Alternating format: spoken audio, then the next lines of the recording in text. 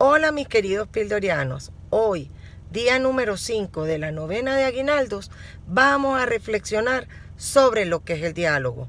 Y cuando hablamos de diálogo nos damos cuenta que el diálogo es una herramienta de comunicación. Pero cuando ya pensamos en ese sentido, ya nos damos cuenta que la comunicación puede ser de dos formas, o la comunicación con Dios o la comunicación con las personas que nos rodean.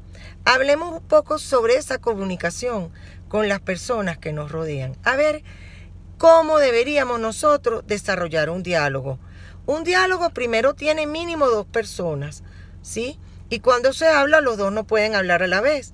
Tiene que ser uno que escucha atentamente al otro, ¿sí? Por eso nos dan, desde pequeños, nos enseñan cómo, cómo conversar, cómo desarrollar un diálogo y se nos ha olvidado hay que escuchar atentamente lo que el otro está diciendo, tratando de comprender su realidad, sus ideas y respetándolo como persona. Porque son personas con la misma dignidad que yo. Una vez que ya yo he escuchado, debo tener la capacidad de pensar inteligentemente lo, que voy a decir. ¿Sí?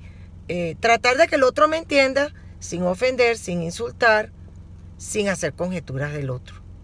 Y una vez que eso se logra, se logrará una comunicación fluida entre dos o más personas, independientemente que piensen diferente. ¿Sí? Esto es difícil de lograr.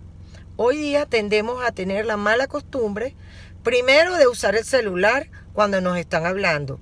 Ya por ahí estamos mostrando desinterés por lo que esa persona nos está diciendo y más interés hacia lo que el otro del otro lado de la línea me está diciendo. Empezando por ahí, ya esa es una mala educación y es una muestra de desinterés por lo que el otro me quiere decir.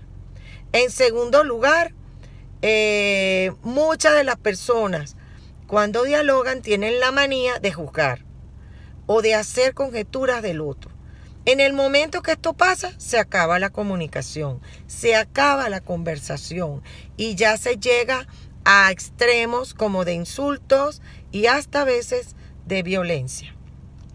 Así que el diálogo es muy importante lograrlo para que su objetivo, que es lograr la convivencia entre los ciudadanos, entre los seres humanos y en toda, digamos, en toda la tierra se logre una buena convivencia, es necesario un buen diálogo.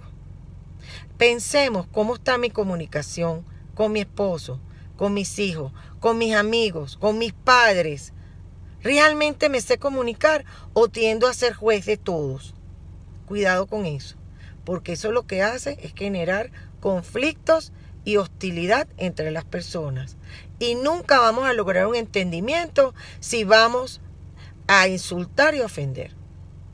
Por otro lado, no debemos olvidar que si mi comunicación con mis seres que me rodean es mala, ¿cómo será mi comunicación con Dios?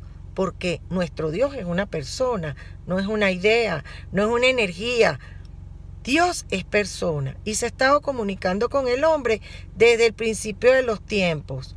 Y el culmen de la comunicación se ha logrado a través de la persona de Jesús, con la cual nosotros podemos comunicarnos y llegar al Padre. Esta comunicación eh, se puede lograr a través de la palabra de Dios y a través de la oración. ¿Qué tal está tu comunicación con Dios? Que Dios te bendiga y que tengas un maravilloso día número 5 de la novena en familia.